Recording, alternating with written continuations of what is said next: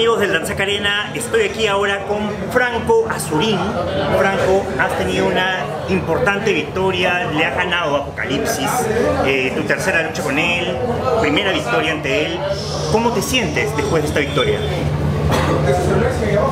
Ha sido la noche más importante, no solo de mi carrera deportiva, sino que de mi vida entera.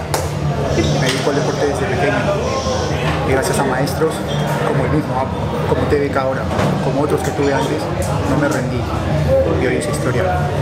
Mi cumpleaños, en mi show, con mi nombre, con mi plan victoria. ¿Qué más importante que eso? Nada, definitivamente. Eh, y creo que es una victoria que aparte te deja en un buen lugar y te motiva mucho para la, esta rivalidad que has desarrollado con Éxtasis, que incluso habremos visto que Axel ya, digamos, tomó manos en el asunto, ¿no? Eh, ¿Cómo te sientes al respecto de eso? ¿Crees que Axel va a aceptar ser compañero de Éxtasis? ¿Cómo te sentirías enfrentándote a él? ¿Sabes una cosa?